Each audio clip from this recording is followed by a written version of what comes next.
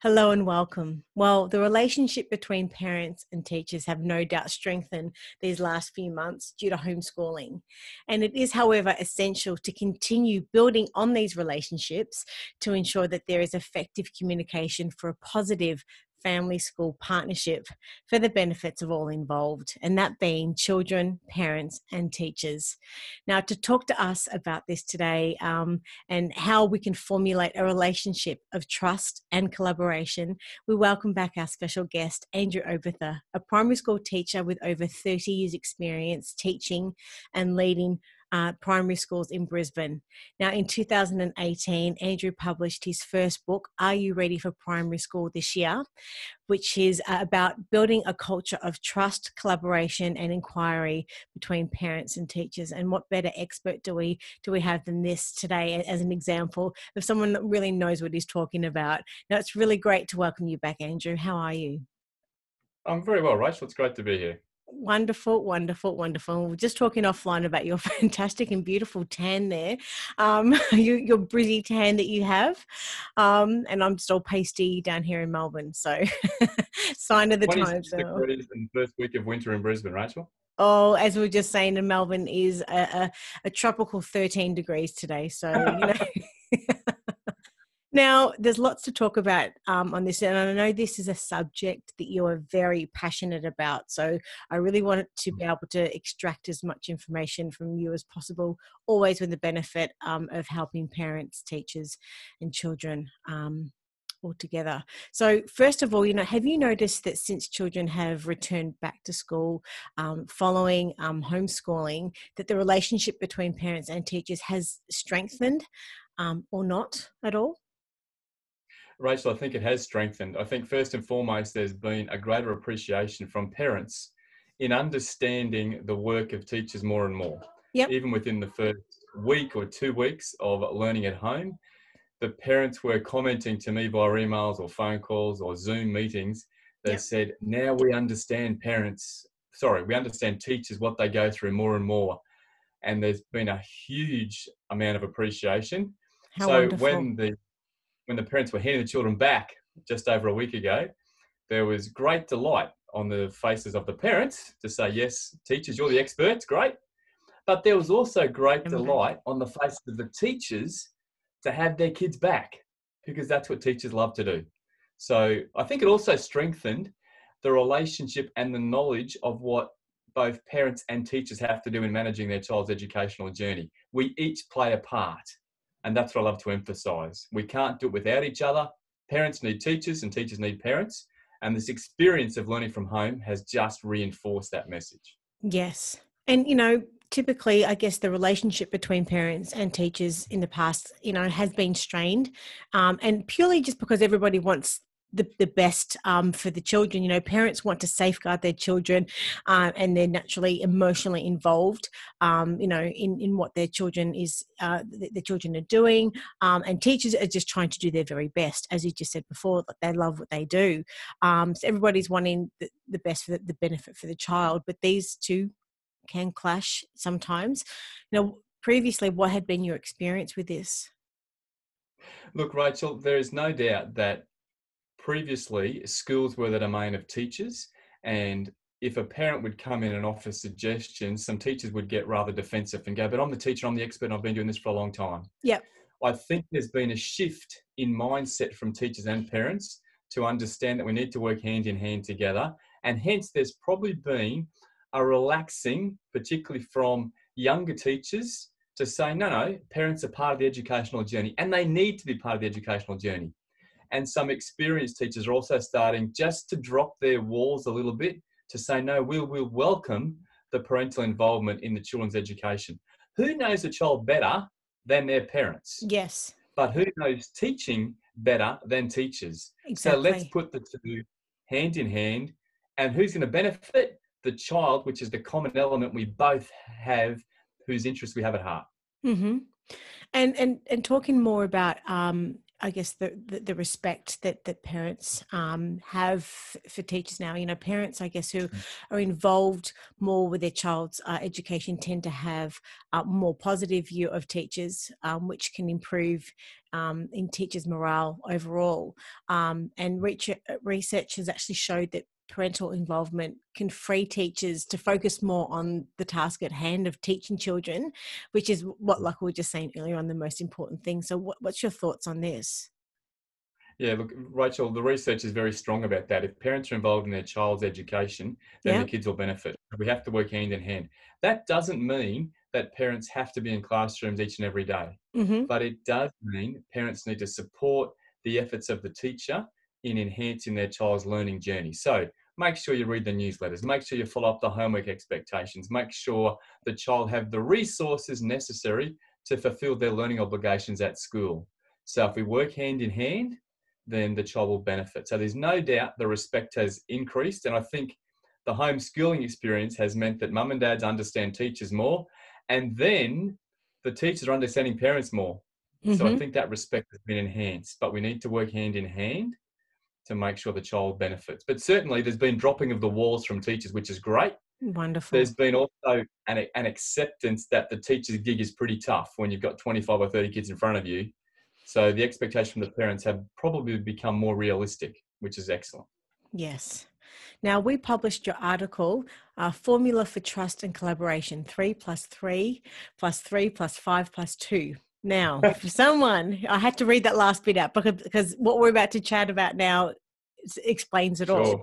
So, for someone who hasn't read the article yet, can you please give us an overview what what it's actually about and what inspired you to write it? Sure. Look, Rach, as you mentioned, um, I'm very big about developing a culture of trust and collaboration between parents and teachers. And my experience would suggest that those numbers represent conversations and questions and dispositions that parents and teachers may have when responding to children so that children will be the beneficiaries. So mm-hmm. the article breaks down each of those numbers um, and they correspond to either questions or dispositions that I'm about to elaborate with you, I hope. Yes. And let's go through all of that now. So, your article explains when a child comes home from school and shares a concern with a parent, um, a parent has a choice of three responses. Um, can you please explain um, each one of them for, for us now? Absolutely. So, imagine your child comes home and says to mum and dad, Something's happened in the playground. I've been picked on by a child. The teacher didn't listen. Mum and dad have got three responses and how they can um, look after and care for their child. Now, the mm-hmm. first response might be to believe what the child said is gospel. Mm-hmm. And hence, the parent may choose to get very emotional, fire off an email, get on the phone, ring the principal, ring the teacher, but they're believing whatever the child said is gospel. So that's the first response. The second response might be to dismiss whatever the child said and tell the child to toughen up, be resilient, get over it, and move on for the next day. But having said that, they might miss something very important for the child. So that's the second response. The third response a parent may choose is to listen to the child very carefully and cautiously and say, Thank you. I'm now going to get feedback from the school because I've heard the child's point of view, and a child may have filtered whatever they've said and whatever their recollections are about the event. So the parent may say, Look, I'm listening to you, I'm hearing you, I'm caring and loving you, but I want to get the school's opinion. So the third option is to listen cautiously and then follow up with the school. So the first two are quite negative and and could be sort of detrimental to the child re- realistically is the first one is that the the the parent although they they, they take it on 100% what their what their child has said is is 100% accurate by them then um sort of i guess calling the school and exploding on the school is not necessarily going to be a positive outcome potentially for the child. And and and the second scenario also so it's only the third scenario which is likely to have a positive outcome for the child do you believe Absolutely, right. And I think the positive outcome will also be for the parents and the teachers by developing that culture of trust through collaboration. Because the parent is basically saying, I'm believing my child, but I also understand my child's 10 or 5 or 12, in which case they might have spun the story somehow. But I do want to believe them. But I really need to get the school's point of view before we can make an informed decision about how best to move forward collaboratively. So if the parent listens to their child, acknowledges what they've heard, and then says, listen, we're just going to follow up that up with the school. And I think that gives an opportunity for the teacher and the parents to move forward, understanding the child will benefit. Okay. So in this scenario where they haven't necessarily gone the first or the second, they've gone in the middle of the road and they've chosen the third. Once um, a parent does um, make an appointment to, to, to meet with someone at the school, now what are the three questions that a parent should ask the school then? What are they? Beautiful. The first question a parent simply has to say to the teacher or the principal, whoever's involved, is, Can you tell me what happened at school today?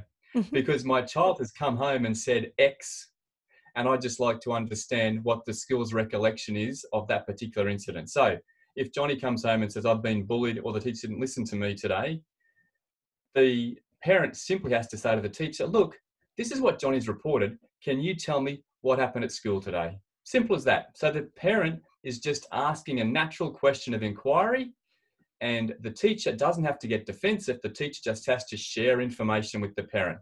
So, as the teacher, I'm going to hopefully say, Well, listen, this is what I saw happen, or this is how I was involved with your child. So the parent has then both teacher and child's point of view. So the first question, what happened at school today? Mm-hmm. What's the second question? So following up from that, then it's an opportunity for the parent to say to the teacher, can you help me understand what is the school's policy or protocol or process mm-hmm. about whatever the issue is? So if it's a bullying accusation or if it's an injury, if I can give you an example, if I send a child home and they have an injury and mum and dad is worried about that injury, they can contact the school and say, listen, what's the school's process or policy or protocol on following up injuries with family members? Mm-hmm. Again, a simple question of inquiry which allows the school to explain what happened. They don't have to get defensive, they're simply, the parents are simply seeking information. So that allows the school to say, listen, our policy about sending kids home with injury is if it's a head injury, we contact the school. If it's a minor injury where they had to get a band aid, we don't contact the school. And the parent goes, okay, now I understand what the school's position is, I can move forward. Okay, sorry for asking, but I'm asking because I don't know. But what policies and procedures are mandatory for all schools to follow throughout Australia? Yeah, look, um, let me give you the three big ones that I think most schools would be very conscious of. The first one's about attendance. Mm-hmm. Um, children have to attend school. Um, that's bottom line. And most schools, they may develop their own policies and procedures around contacting schools, but if a child does not attend school uh, and is enrolled at a school, then the school has an obligation to follow up with that family. Mm-hmm. Uh, and then it would be up to the school to determine how best to follow up. And if a child has significant absence, then there would be an expectation that that would be reported to the relevant education authority. So attendance is a critical one. Um, the, the other two big ones at the moment, which schools are very conscious of, is the use of internet, uh, use of technology. Um, with cyberbullying being such a prevalent problem in our schools these days, and with the access to internet and social media being more of and course. more available, and the use of devices for younger and younger children, um, then there are lots of policies and procedures around the use of IT in schools these days. Once again, most schools would have a policy, I hope, that rely on the collaboration and cooperation of the parents. Mm. So a lot of schools have acceptable user policies so that if we have one-to-one devices that children are using at home, mum and dad have to help the school manage those devices. So that's a key one also. Um, the other one that is, is huge in schools is obviously child safety. Um, and we have mandatory reporting processes if there are any issues regarding child safety. So there are numerous policies and procedures in, in schools, Rachael, but those three, um, attendance is huge, um, IT is huge, and child safety is huge. And as you can see, we're talking about the welfare of children. Um, that would be the overarching theme for each of those policies. Obviously, all of our schools are following the Australian curriculum. Um, that's mandated by the government and our education authority. So that's standard across the country. But those three policies, attendance, IT, and child safety, I think are three key ones in our modern age. Mm-hmm. So, when parents are looking to enroll their, their child into a school, um, and uh, I guess understanding what that individual school's policies and procedures are on, on top of what is mandatory um, from, from the government, what sort of questions do you think that they should be asking? Look, it's very common for families to ask questions around, um, firstly, about curriculum, what is being taught, and what's the philosophy, and what might be some of the pedagogies that your school will be mm-hmm. um, introducing. I, I, did an enrollment interview today, and the family asked me that exact question: um, What are, what are the pedagogical practices that your teachers will be using mm-hmm. to make sure that my child gets a good education? Which is a fantastic question. They often ask questions around bullying um, because it's a very emotive term, and families hear that term in the press a lot. So families often ask questions around. They often ask questions about safety.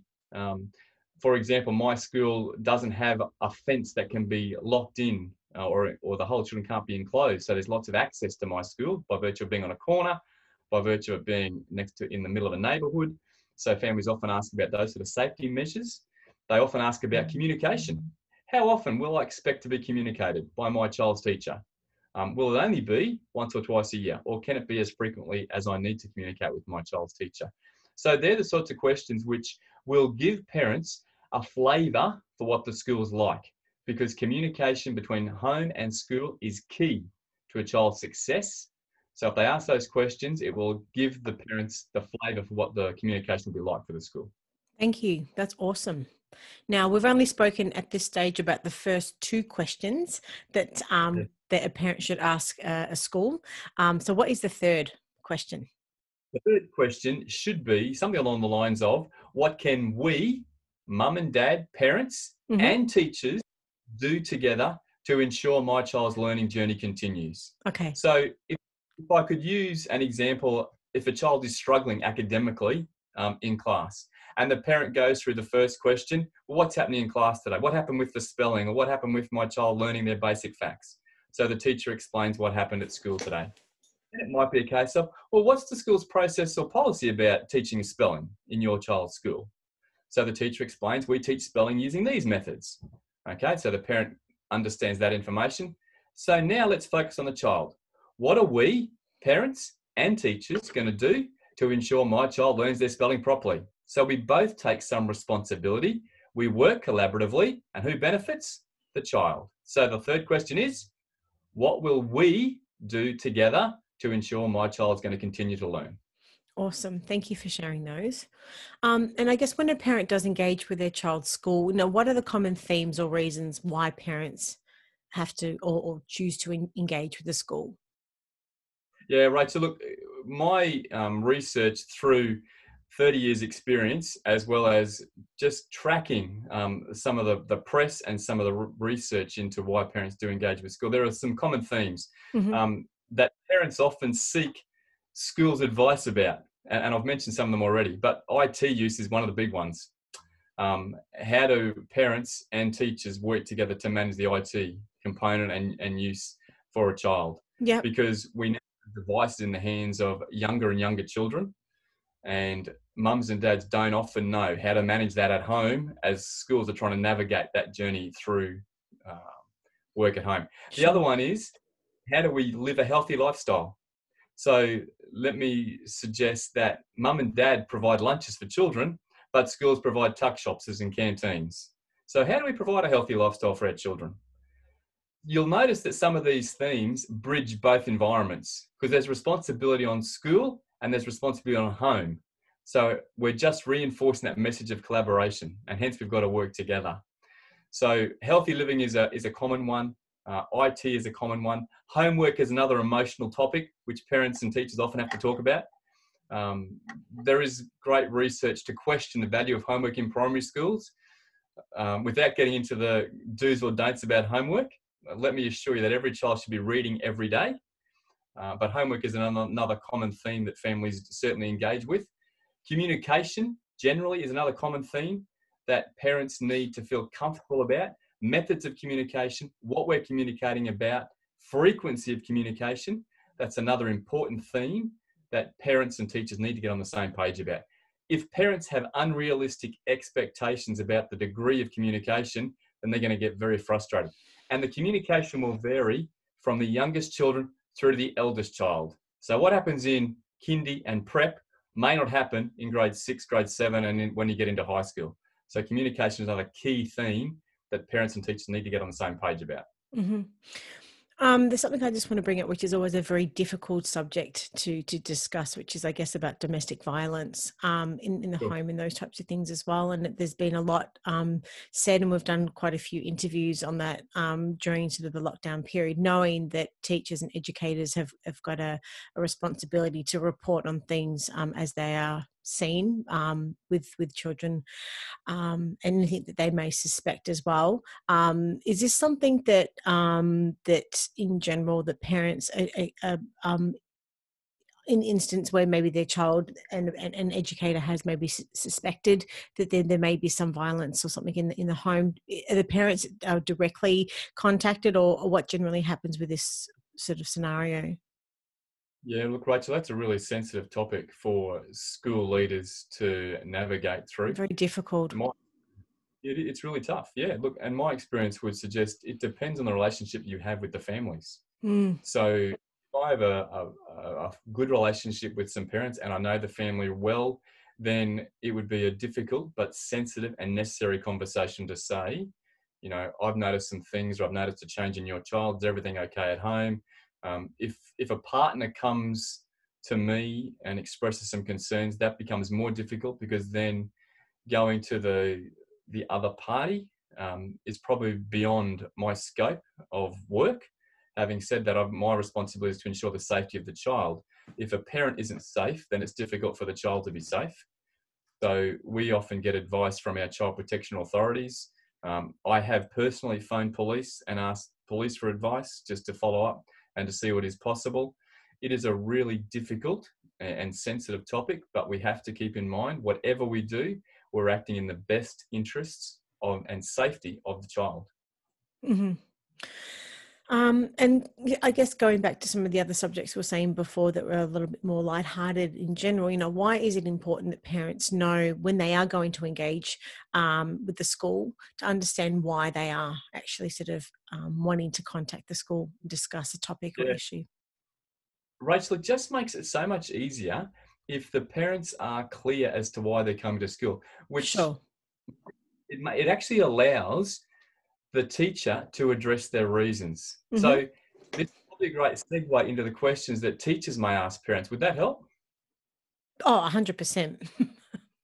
so imagine a parent comes to a school and explains an issue that's worrying them or they're coming to school for a variety of reasons, which we'll talk about in a moment. But the first question a teacher can ask the parent is, What do you need? Now, that question seems really basic, but it's really disarming for a parent to hear that. And when I've asked parent that question, they sort of sit back and go, You're asking me for an opinion about what I'm after. And I'm exactly. Which means the parent has to be clear about why they're there. Yes. I'm going to talk to you in a moment about the five reasons why parents come to school. But when a teacher says to a parent, What do you need? And if they say it in a genuine, compassionate, inquisitive way, then it allows the parent to explain to the teacher, look, I'm coming here in the best interest of my child. I just need to understand such and such. Or they might come for another reason. And we're going to explain those five reasons in a moment. But the first question is, what do you need? Mm-hmm. And it's really, it empowers the parents. It makes them feel good. It also disarms them because they're going, you're valuing my opinion. That's fantastic. Yes. You want, you want to know. Yep. Yes, exactly. Which helps build that relationship, which is great. Just, can I go on to the second question? Please do. the second question that a teacher should then follow up with is what do you think, whatever the parent's asking for, hmm. would look like in my class or my school? So they get to so see it from the teacher's point of view now, don't they? Bingo, Rachael. Perfect. And by doing that, they get to stand in the shoes of the teacher and go, listen, I'm really expecting this from you. And then the teacher goes, okay, well, just let's talk through what would that look like in my classroom? Can I give you an example? True story. I had a parent come to me once and say, Andrew, I would like daily written feedback about my child's progress on every subject. It's a bit unrealistic, is it? And I just, well, exactly. And I just said to the parent, I said, okay, so what do you need? And they said, I want daily written feedback about my child's progress on every subject. And I said, okay. I said, what do you think that would look like in my classroom? And you could just see the wheels ticking over. And the parents going, Well, hang on, Andrew's teaching 25 kids or 30 kids, and I'm asking this. And if every parent asks that, that's not going to happen. So I went back to my first question. I said, What do you need again? and they said, Look, we just need regular updates on my child's progress. I went, Fantastic. I can provide that for you. But by having them ask the question or answer the question, What's it going to look like in my classroom? They were being self reflective to say, Listen, is this actually possible and is it realistic and is this going to happen? Mm-hmm. Which we're going to talk about in a moment. But by having them stand in the shoes of the teacher was just fantastic. So they then by default went, well, actually, what I need is not daily written feedback about each subject. What I need is regular updates about my child's progress. Yep. Very different, same outcome. Yes. What's the third? So, the third question is simply to close a conversation between parents and teachers, and the teacher just needs to ensure that the parent has said all they need to say. So the final question is Is there anything else I can help you with before we move on? So it just gives again the parent the opportunity to reflect Have I said everything I want to say? Has the teacher heard me and responded? Yes. Have I got answers? Yes. Is there anything else you'd like to say before we close? Thinking time, reflection time. No, no, I'm all good. So if the teacher asks those three questions, what do you need? What's it look like in my classroom or school, do you think? And is there anything else? Mm-hmm. 99% of scenarios that parents present to teachers can be addressed by those three simple questions. So, this last question really simply gives the parents the chance to reflect um, and ensure that their needs have been met by both parties. And so they can walk away content that they've actually been heard. And I guess it's also a, a simple technique which allows teachers to close off the conversation and uh, allows the parents to have some closure, would you say? Absolutely, Rachael. You've summed it up perfectly. Spot on. Yeah, and and is this a technique that you've used? I guess I mean, no doubt, right throughout sort of the last thirty years as well. I'd love to say it's been 30 years, Rachael. It's been more like the last few years. It, it's taken me a while to to refine some of these conversation skills with parents over a long time. But I think schools have had a habit of developing lots of policies and frameworks and protocols, which are very complex and complicated. Mm-hmm. Um, think if we break down the communication process into very simple bite-sized pieces, it allows the staff to get their needs met. It allows the needs of the parents to be met, and who benefits? The child. So I think we need to streamline our communication processes so that we get on the same page very quickly. And what are we creating? A culture of trust and collaboration. And how did you actually get to the point when you, you realized that it was this easy because when you're breaking it down i know we're about to sort of go into another five things now which is really it's it's it's, it's wonderfully broken down but how did you, how did you get to this point over uh, like throughout your career so far yeah look I, I was fortunate to do some study in in 2016 and i did some study around negotiation and i was fortunate to study under a very wise gentleman called alan parker and alan gave me some very simple frameworks about the way to, way we can communicate with people uh, we don't necessarily have to overcomplicate things and we don't have to catastrophize things. We have to deal with the emotion of people, granted, but I think if we can deal in facts, and how do we get facts is by asking very simple, specific questions, um, and it allows people to respond. So it took me a long time, and I wouldn't have probably been this polished if I was a first year teacher. And hopefully, what I'm offering now, people can apply to their classroom settings and school settings. So we create that culture of trust and collaboration. Fantastic. Now, so we've done the three, the three, and the three. Now we're up to the five. So you mentioned in the article that when a parent goes to their child's school, they usually approach the teacher or the principal for one of uh, five reasons. So can you explain what one of these or each of these five reasons are? Sure, absolutely. Right. So the first reason a parent might go to school is simply to share information.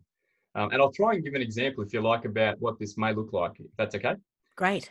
Um, so let me give you an example of sharing information. Um, my child has been sick for the last few days. They're now back at school. Here's some medication.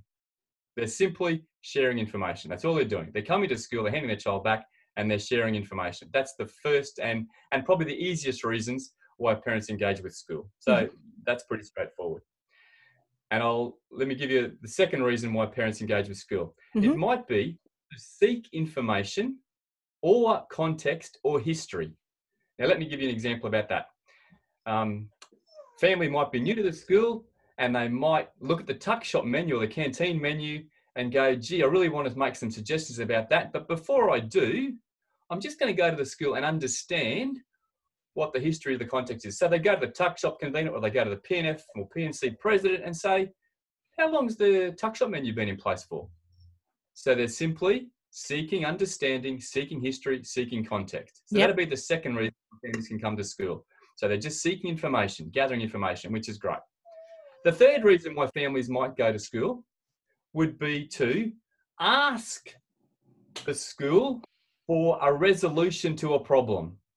One of my favourite examples about this one is the car park and the drop off and pickup routine. So parents come to the principal and say, You've got to fix the car park routine. You've got I think you should I'm do this. Yes. Yes, This is my opinion. I want to be heard. ah, that's one of the other ones, Rachael. But this this reason might be to come and say, listen, I, this, you've got to fix this problem. The car park is inefficient. I'm late for work every day. I'm late for school. Can you please fix the problem? so the reason is they want a solution. They go to school seeking a solution. That's the third reason. The fourth reason associated with this one, the fourth reason is to offer a solution. Now, actually, I love parents who come and give me a solution not all principals and not all teachers like these parents because they're thinking, hang on, this is my classroom. School is my domain. I know how to run. But let's be honest, I'm not a civil engineer. I missed that lesson in principal school. So if I've got a civil engineer in the parent body and they come to me and say, Andrew, look, I've had a look at the car park. I know it's a bit of a problem. Do you mind if I offer you a suggestion? That's fantastic. I'll work hand in hand with any parent who's an expert. Similarly, if I've got a parent who's an architect in the community and they can see that I'm going to remodel a classroom and they can say, Andrew, I've got some ideas for you. I will take parents' suggestions on board 100%. So the fourth reason is that they can offer a solution, which is great. They've got expertise. I don't. Let's use their expertise. yes. And the fifth and final reason why parents come to school may be to get advice. Let me give you a classic example about this one. Children who are using the internet at home and mum and dad don't know how to manage the internet use at home. So they come to school, and even though school is the teacher's domain and our circle of influence is at school, it's not uncommon for parents to come to teachers and say, Listen, I don't know how to stop my child playing Fortnite for three hours a day. What do you suggest? Yes. Or I don't know how, how to get my child to do more homework. What do you suggest? Or I don't know how to get my child to go and do some exercise and run around the yard when all they want to do is be a bookworm. What do you suggest? So parents come to school to seek advice and wisdom off the teacher, off the principal. So they're the five reasons why parents come to school. If I could just go through them once more, just to let me summarize Yes. them for you. Yeah. They come to share information, simply to give the school information. Yep. That's one. They come to seek in understanding information or context or history. Yes. So understanding what beforehand. They come along to ask for a resolution or a solution. There's been a problem and you've got to fix it, principal or teacher, so please do that. The other one might be for them to offer a resolution or a solution because they have expertise, which is great. And the fifth reason is to seek advice. They want assistance. They want to, they want someone else to give them some ideas about what to do. So they ask for assistance. So those five reasons I would suggest would cover 99.9% of reasons why parents come to school. They're beautifully broken down too. You make it sound so simple when you do it like this. Oh. now, lastly, you know, you mentioned in the article when teachers respond to any parent request, the teacher should filter their responses um, with one or two criteria. So, can you explain what those two are, please? Yeah, absolutely. Rachael, when a parent comes to school, if I can go back to my example about the parent asking for daily written feedback, So, I've got one of my child's dogs here at the moment, just wanting a bit of attention. Sorry, Andrew. sorry, yes, sorry, continue. So if a parent comes and says, "Look, I want daily written feedback about my child's progress," if I was a teacher getting that message, the two criteria I'm filtering my response with is: Is this realistic? Can I actually commit to doing this? That's the first thing. So, is it realistic that I'm going to give data written feedback to this parent about this child's educational journey? And the second criteria is: Is it sustainable? Can I do it on an ongoing basis over and over and over again? I can probably give daily written feedback once before I get exhausted and go, hang on, I've got 26 other kids I've got to. so the first question is, is it realistic? Yeah. And the second criteria is, is it sustainable? And if a teacher can confidently in their mind say, yeah, A, I can do that, and B, I can keep doing it, then I think they're onto a strategy which will be possible for them and for the parents. Well, look, you've given us some really great advice today and, and some really helpful approaches in which schools and parents can communicate and interact, um, you know, positively, all with the view of, um, you know, improving um, children's education. If you were to, I guess, just summarize everything that we've spoken about today, um, which there's, there's, as I said, there's so much information, but how would you, I guess, to summarize what your key messages are? Yeah, Rachael, people get tired of me saying these words, but it's trust and collaboration and through inquiry. So let's ask yes. the right question in context. We build that relationship between parents and teachers. We each take responsibility, knowing that the common element is the child that we know and love and care for as we're working on this educational journey together. So let's build that culture of trust and collaboration. Yeah, wonderful. And if parents have got any other questions for you, whereabouts can they find you? Look, my website is www.creativecollaborativesolutions.net. Look me up. I'm happy to address any questions. Wonderful. And we'll have a link to the article in the show notes because um, all of these things are broken down even more so with more information. So thank you. And thank you for making it so easy um, and, and digestible, I think, because as, as you said, this is this has been um, a labor of love for you and, and, and, getting to the point of understanding what are these common um, things and seeing it from both sides as well, um, seeing it both from parents and from, for, from the teacher's point of view. So thank you so much for sharing them with us today. But um, we'll look forward to chatting with you again soon. Take care, Andrew. Thanks again. Pleasure, Rachael. Good to see you. All the best. Okay. Cheers. Okay, bye.